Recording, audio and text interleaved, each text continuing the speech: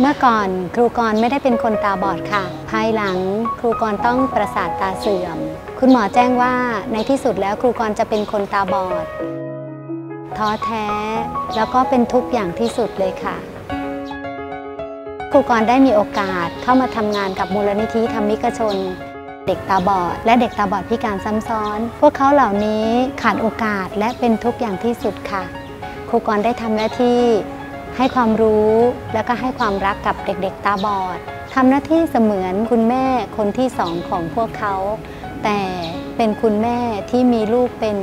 ร้อยๆ คนค่ะ มูลนิธิธรรมิกชน เพื่อคนตาบอดในประเทศไทย ในพระบรมราชูปถัมภ์ให้การดูแลช่วยเหลือคนตาบอดมาแล้วกว่า 50,000 คนทั่วประเทศ และยังมีคนตาบอดอีกมาก ที่รอการสนับสนุนจากท่าน โปรดให้โอกาสแก่เรา